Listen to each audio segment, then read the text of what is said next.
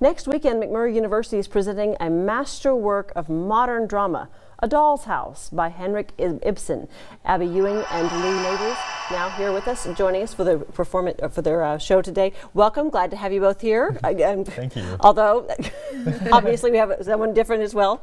So, tell me about the show and about your characters and what what's this is a, a piece that's sit, set in Victorian time period. Mm -hmm. I mean, so late 19th century. Yeah. More than uh, a hundred years ago, when mm -hmm. things were vastly different. There were a lot more rules. There was a lot more expectations. Um, and fast forward to today, put it in play.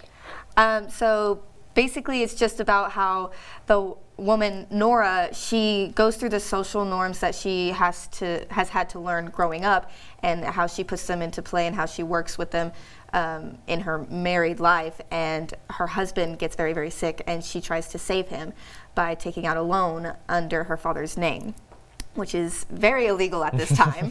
um, and still illegal today. Yes. You still can't pretend to be somebody yeah. else, just so you know. Um, so when he finds out, the husband, uh, Torvald, he basically takes off this mask that he's had on this entire time of who he really is, and she sees him for who she, he really is, and it changes her perspective of everything. So I talked with both of you a little bit before the show as mm -hmm. we as we began. And this is a, a, topic that can be very relatable even today. I mean, people right. we have masks, we have um, our we have our best face forward, our best foot forward, and you know truth is that we all have a few warts here and there, you know, and, mm -hmm. and as time goes on, all of that tends to be divulged and exposed. And so you're seeing this, and yet he's really not a villain. He's not all that bad of a guy, mm -hmm. but uh, in a sense, uh, he's a victim of his own circumstances. Exactly. Yeah. The the name A Doll's House it's pertinent because every character in the show is a doll uh, being played by their their history and the circumstances of their like what's going on. So although 100 years in our past and with so many more social rules and expectations, it's still something very relevant to mm -hmm. today.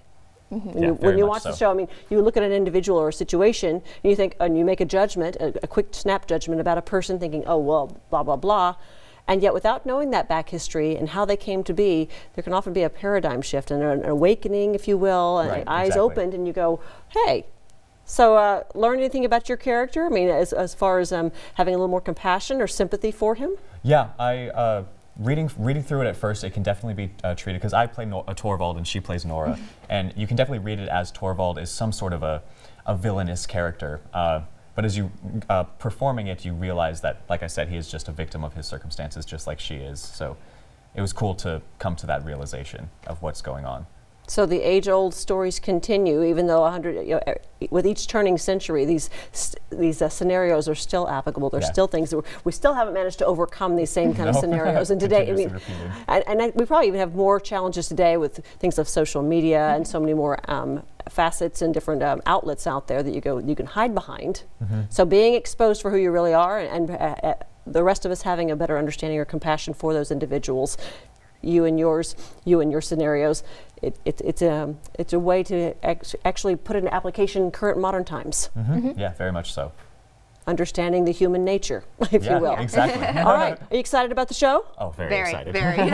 Love the costuming and the period timepiece? Oh, yeah. And uh, important thing, we are doing the show in the round, which, as far as we know, is the first time we're uh, McMurry has ever done it in history. So essentially, the audience isn't just going to be in front of us, they're going to be all around us. Mm -hmm. Very, very cool. What an exciting way to, to present this, a perspective from all angles. Exactly. all right. Congratulations to you both. You got one week till the curtain goes up, and we want everyone to get tickets and come out and see this. Thank you so much. All right. It'd be a great uh, belated date, if you will, for Valentine's Day. So get the tickets early, and then you can head out afterwards. So if you'd like to see A Doll's House, it will be presented at McMurry University in the Ryan Little Theater. That show runs February the 16th. That's through the 18th at 7.30 p.m. There's also a Sunday matinee, February the 19th at 2 p.m. General, general admission tickets are $10. Seniors and military pay 7 We'll have more information and a link to get those tickets that can be found on our website, bigcountryhomepage.com.